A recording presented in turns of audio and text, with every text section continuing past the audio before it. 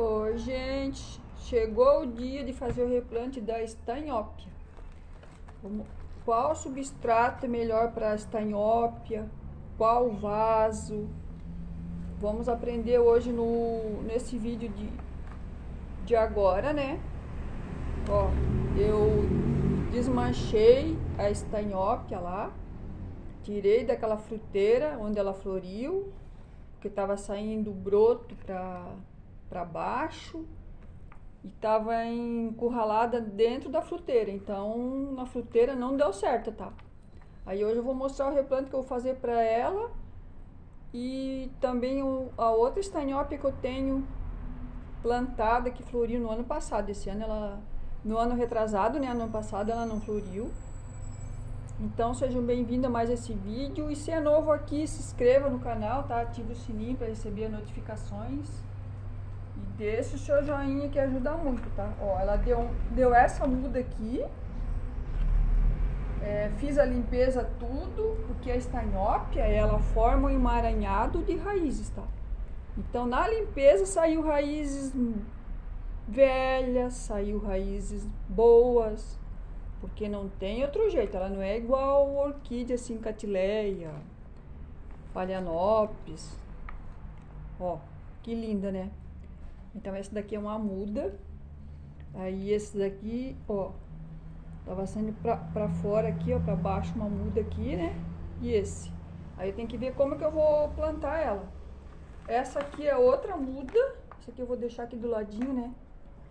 Cuidar para não quebrar o broto, porque eu já quebrei um broto, tá? Na limpeza da, das raízes. E também vou mostrar para vocês como é que eu tô tratando do, das pintas pretas, das ferrugens que aparecem nas phalaenopsis. Aqui tem um broto também. E essa aqui é que tinha saído para baixo da fruteira com esse broto encurralado. Que aí eu tive que cortar toda a fruteira para salvar o broto. Aí aqui eu cortei um broto e tem esses dois brotos. Daí eu quebrei um aqui na limpeza, né? Aí esse bubuzinho aqui eu vou plantar também junto. E então, no substrato que ela estava plantada na fruteira, deu super certo para ela, ela entocerou muito. E só que a fruteira dificulta na floração, nem né? saiu os brotos, né? Fica lá para baixo e, e o carvão, daí ela enraiza muito, forma aquele chumaço de substrato e, e, e raízes, aí o broto não, não sai, fica preso lá, sai, a floração não sai. Então o substrato que ela tava lá, né, carvão, que até eu lavei um pouco aqui, ó, mas não sei se vou usar. Carvão, casca de pinos, tá? e casca de coco seco, que depois eu ia acrescentando. Esse era o substrato dela, que é bem, bem drenável, né? Ó, eu vou plantar ela e vou adaptar, ó, nesse cachepô que eu comprei. Eu paguei 25 reais, o menino ali na agropecuária fez pra mim. Daí eu dei uma lixada, porque tinha verniz, lixei por dentro, só por fora não, não passei lixa, passei aqui em cima. E aí o meu esposo fez o furo e, e fez o, o arame, né? Aí fez o arame aqui, ó. Então agora eu vou eu vou plantar ela nos tronquinhos que eu achei aqui, tá? Essa aqui acho que é a primeira, né?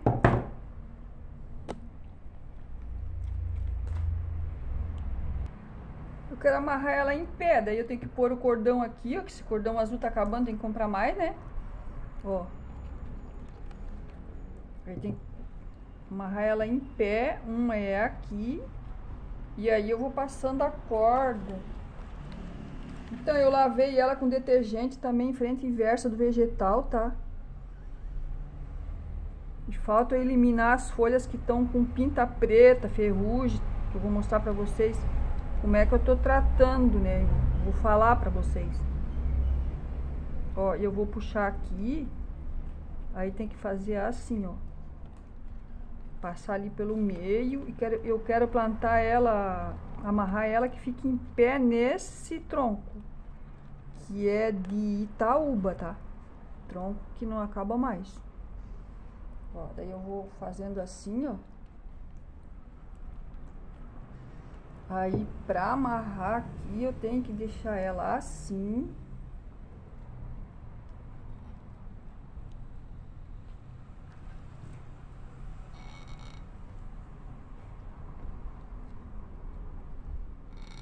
Puxar bem, depois eu arrumo ela ali. O primeiro nó para dar uma ajuda, né?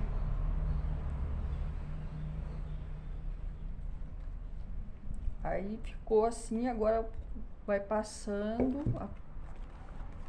Eu gosto do cordão porque depois ele apodrece. Aí eu tenho que comprar mais cordão que tá acabando. Ó, puxa bem aqui.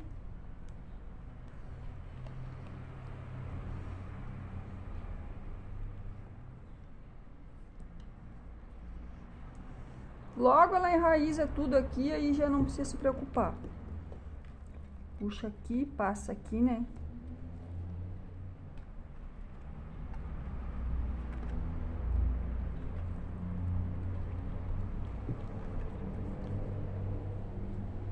Deixa eu pegar mais um...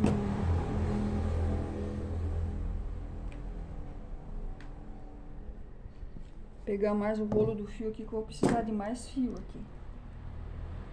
Puxa aqui, vem de novo pra cá e vai passando. Eu só não posso passar aqui onde tá aquele broto ali, ó.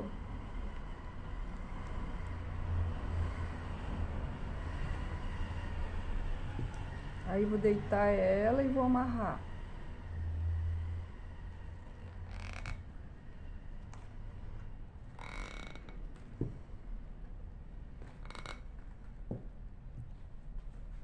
Pra amarrar aqui, ó. Dá um jeitinho de prender com a unha, né?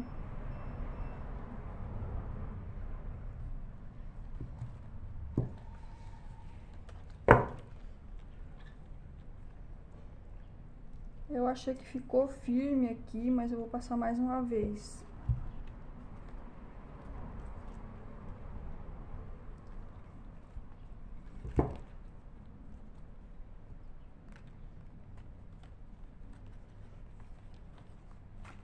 Aquela estanhope que eu achei no lixo com a Nora, eu acho que tem só um bubuzinho ali, eu não sei porque que ela não veio aqui em casa.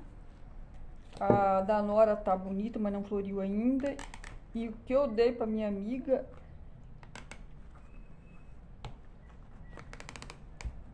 tá linda e floriu esse ano passado agora, né?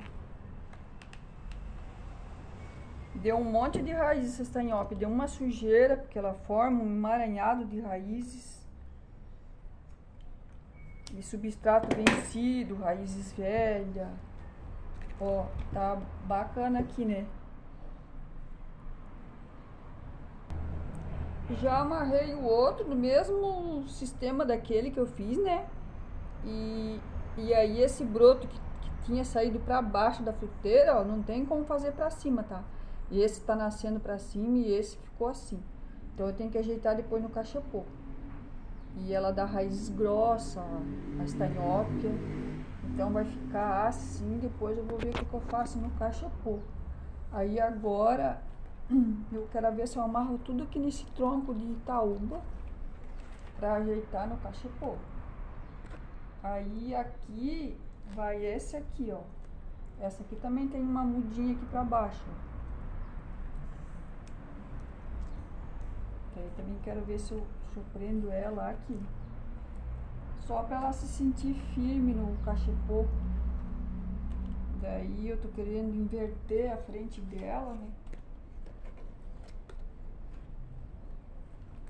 Assim. Amarrar bem aqui na ponta.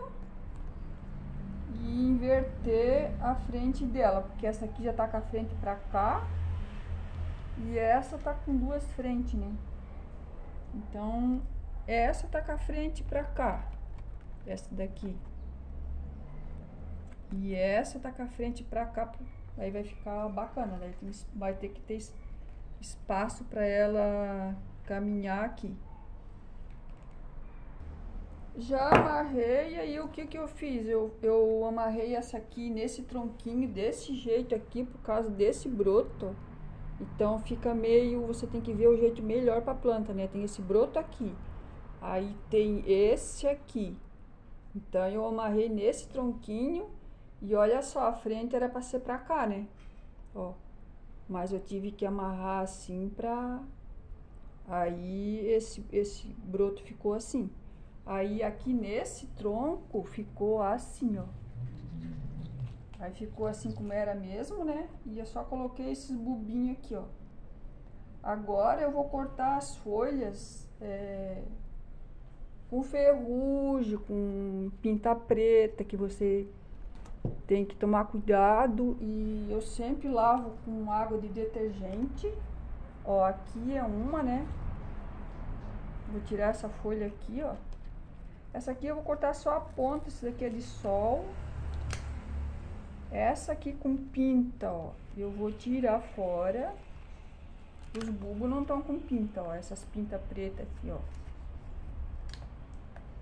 É, sempre lavo com essa folha aqui também, ela não tá legal. Mas eu vou cortar aqui. Aí, essa aqui tá com ferrugem, assim, tipo uma ferrugem, ó. Aí eu sempre lavo com detergente, faço uma limpeza na planta, frente e verso, nas folhas, no vegetal, tudo. E, e dou banho de diazetop quando não tá chovendo à noite. Ó, essa folha aqui, eu quero...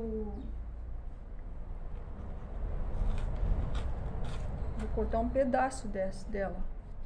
Esse aqui, ó, ferrugem, né? Então, para não proliferar. Se tá toda limpa, né? Aqui... É, aqui ela tem mancha preta, ó. ó. Essas manchas pretas na folha, assim. Essa aqui também tem, aí eu vou cortar. Essa aqui eu já andei cortando pedaços já esses dias, ó. Fiz tratamento nelas, né? Elas estavam perdidas de... Cortei esse. E aí eu vou cortar mais essa aqui. Vou fazer a limpeza no outro também. O outro já não tem tanta. Ah, tem mais uma... Tem mais uma aqui, ó, que tem ferrugem aqui, ó. Ó, essa daqui, ó. Então tem que tomar cuidado para não se alastrar para as outras orquídeas. Ó, aqui tá bonitinha, mas o verso dela tá assim desse jeito. Tem que fazer essa, essa limpeza, né? E aí tem que tomar cuidado para não quebrar os brotos, porque estão tudo broto para baixo, broto para cima. Ficou bem presa. Agora eu vou mostrar como é que eu vou adaptar aqui no cachepô, né? Eu vou ter que fazer assim nela, ó. Fazer isso aqui. Com cuidado, né? Passar pra cá, do, porque já tem os arame aqui pra pendurar. Aí passo ela aqui. Agora eu pego esse broto aqui, ó, essa folha, e vou passar ela aqui por dentro aqui, ó, que ela vai ficar pra cá. Vamos ver se vai dar certo, né? Se eu não vou quebrar a planta. Que essa folha, esse broto aqui eu não, eu não quero perder ele. Aí tem essa folha aqui, ó, que tem que passar pra cá. É tudo uma paciência, um, um jeitinho.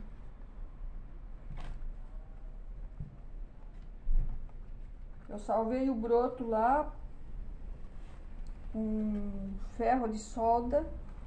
Então, Eu não posso perder ele aqui, com tanto trabalho que eu tive para salvar ele, né?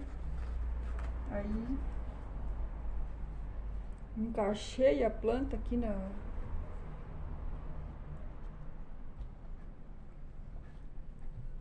aqui, ela ficou com a folha para fora. Agora eu tenho que vir com esse aqui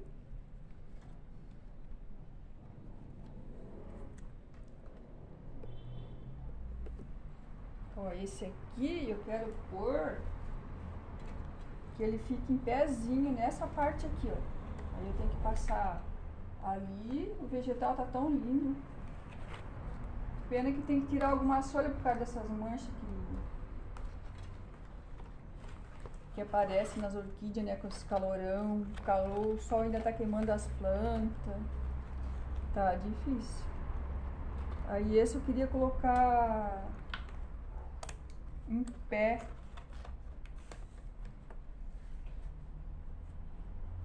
Aí, ó, no colocar agora, ó, ó, no colocar ali agora, eu já quebrei o um brotinho aqui, ó. Eu tirei o bulbinho lá do tronquinho, vou plantar ele num, num tronquinho aí, um pedacinho de, vou ver se acha um tronquinho para plantar ele, né? Não vou mostrar agora. E essa eu acomodei aqui o outro tronquinho. Então os dois tronquinhos ficaram acomodados assim, ó. Aqui no cachepô, tá? Aí ele vai ficar no mesmo lugar que tava. Ó, ficou lindo, né? Eu, eu amei. Ó, essas pintas pretas aqui, ó. Essas daí tem que tomar cuidado. Mas ela tá com o vegetal lindo, eu tô tratando ela. Não vou adubar agora, tá?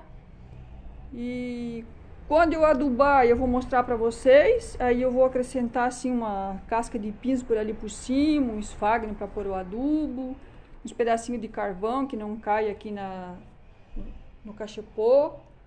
Aí eu vou mostrar, tá? Espero que tenha gostado do vídeo, né?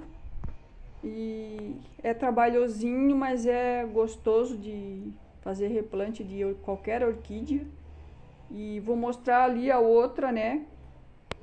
Então, o substrato é casca de pino e carvão, mas você o melhor mesmo é adaptar, se implantar em tronquinho, adaptar no cachepô e em tronco assim, ó, um tronco de, que dure bastante, né? Essa aqui tá no tronco, tá? Ela enraiza e florir super bem e vai colocando adubo no, em trouxinha ou no esfagno. Espero que tenham gostado, deixe seu joinha e obrigada!